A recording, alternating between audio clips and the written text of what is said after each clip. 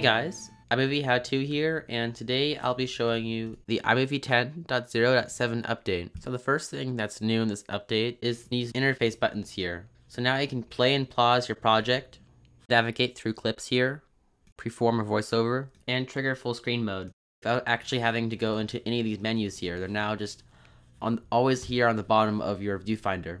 So the next thing that's new in this update is the integration of the, the new Photos app, which I'll cover more in depth in a later video, so subscribe for that.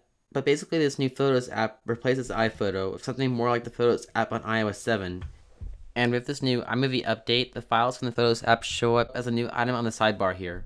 So I can click on where it says Photos Library here, and it has the pictures and videos you import in the Photos app.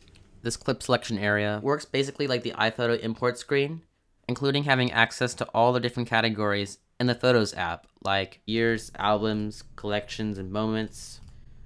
See if more sorting options. So it works just like it did with iPhoto, except that it works on the new Photos app. Basically, the other things in this update are pretty minor. One of the things is that iMovie now includes support for the Sony X AVC-S video format, and there's also just the normal bug fixes. Thank you for watching this update video. If you'd like to see more update videos, be sure to like, comment, share, and subscribe. Thanks for watching, and see you next time.